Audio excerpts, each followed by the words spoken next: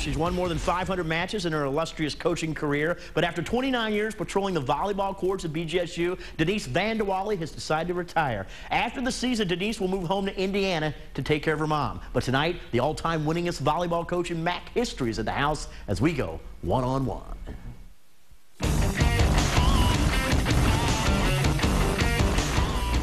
You're a legend, Denise. Uh, thanks for being here tonight. This is uh, this is wonderful. 29 years at Bowling Green, and you're deciding that this will be your last season. You've won over 500 matches. You're the all-time winningest volleyball coach in the Mid-American Conference. So why, why now?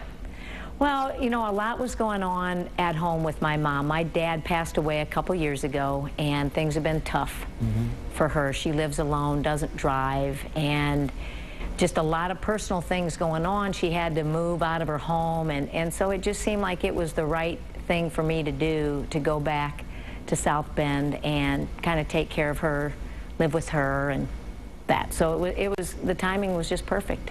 That's that's special. That, that's that's a really neat neat thing. You started. You, you told me in a little commercial break that you were actually from Indiana. You went to school at Ball State. You got your start here 29, almost 30 years oh, yeah. ago. Tell us briefly how that came about because it's a wonderful story. It's a crazy story, I know. When I was telling you, I, am almost embarrassed at how it went. I've talked to many classes, Joe, and I've said if you ever don't want to get a job, just do what I did. Jack Gregory was a wonderful athletic director. He pursued me. I was an assistant at Ball State.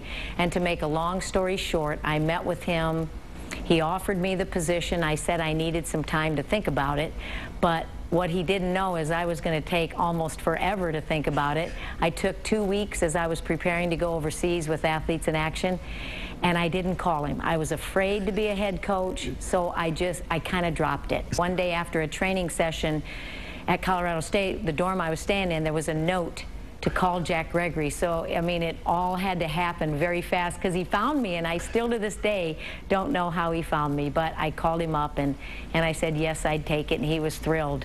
After all these years, uh, what are some of your proudest moments? It, it's the people that I've been around. You know, I think of all the players that I've coached and I'm coaching now. So a 29-year history of all different kinds of kids that I've coached and assistants that I've worked with and coaches in the conference and and just the personnel that's you know been at Bowling Green.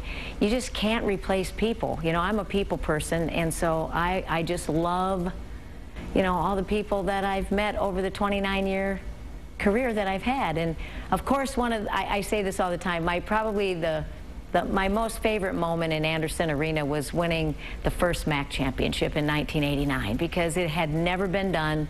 Bowling Green had never won a MAC championship and Western Michigan was so good. And I was good friends with the head coach, Rob Buck, and I used to kid him every year that we played. I'd say, Rob, if anybody's going to beat you, it's going to be me. And we would just laugh. And, you know, we weren't very good at the time, so it was, it was really a joke every time I said that. And then in 89, it all came true. We put it together and, and beat Western in three. A lot of memories in Anderson Arena. Now you're in a brand new Stroh Center. I was down there last week for practice. It is so nice. What about that, coaching your last year in a palace like that? It's going to be hard to say goodbye once you, once, you know, you see that Stroh Center. Anyone, right now, anyone that's come in it has walked away saying, boy, that is just one of the best places probably in the country to be. I mean, it, it's certainly one of the finest facilities in our conference. But our players love it. The gym is great, the practice gym. I mean, you mentioned the locker room. It's twice as big as what we had before. And just, the, you know, the coaches' offices, everything being brand new, TVs, everything's great. It's a wonderful, wonderful place. How have you maintained 29 seasons being at the top of your really profession. I mean, the all-time winningest coach. To be honest, I don't think it's me. I just really think the Lord has blessed me 100-fold because, you know, I've thought about that, especially as I'm winding down. Boy, people just don't stay in one place as long as I have. It's a it's a rarity mm -hmm. anymore. And I just really feel like, you know, God's had me in Bowling Green for, you know, 29 years for a reason. And when you ask me if it gets harder or easier, I, I think it's hard. I mean, recruiting's hard. Staying on top is hard. I, it hasn't gotten easier, and you'd think maybe it would the longer I'm doing this, but, you know, kids change, the, the recruiting practices change, the rules change, and you do. You have to be on top of your game. So it's, it's difficult to recruit right now. Yeah. Are there going to be tears uh, as the season goes on? Or I'm Oh. sure there already probably has been. I, I know when I told the team last April, it was one of the toughest things that I did. It was very emotional for me, very emotional for them. Lots of tears. I had one of my former um, players come in the gym the other day, Stephanie Swiger, who, you know, just uh, was a wonderful player for us and, and even in the MAC did some great things. But she came in and she was just talking, and all of a sudden I found myself tearing up as, as she was talking about when's your last match. What are we going to do? We got to have a party, you know, all of this.